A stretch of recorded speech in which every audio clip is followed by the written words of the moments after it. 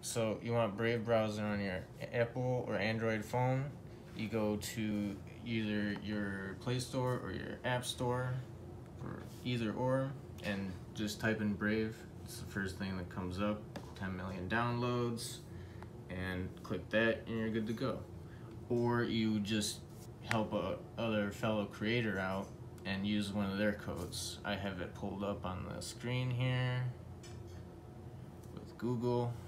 Don't use it anymore, but I used one of our uh, members' codes. So let's use that. And we can just download it from Android from there. And same thing here. Oh, it's in the Safari. And I didn't ready it.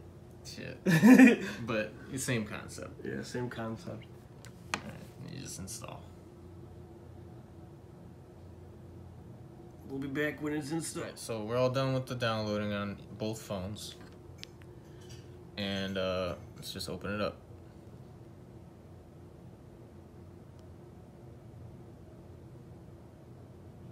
I like DuckDuckGo.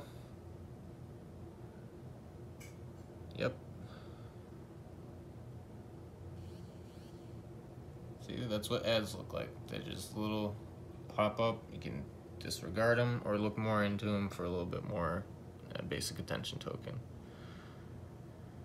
So uh, we're all installed. We used the creator's address, so they'll get rewarded in BAT for um, referring you to Brave, and it helps out everybody.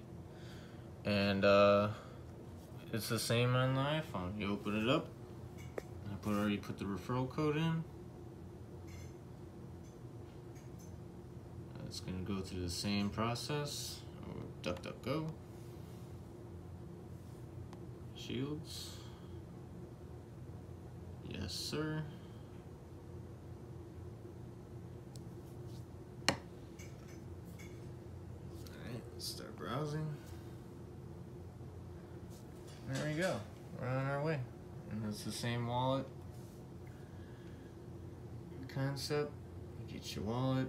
You can verify it on Uphold, which we'll go into in further details later, but you're all set up. You can go.